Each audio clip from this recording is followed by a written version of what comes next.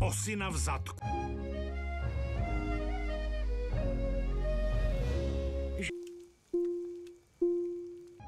Dánsko, perla Balckého moře, prvotřídní školy, nadčasový nábytek, energetická nezávislost a televizní dramata o vraždách puberťáků.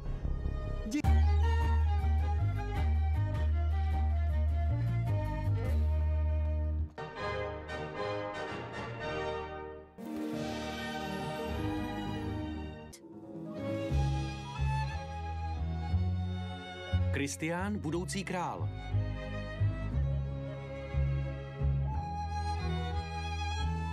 Královna maturitního plesu. Skutečný král.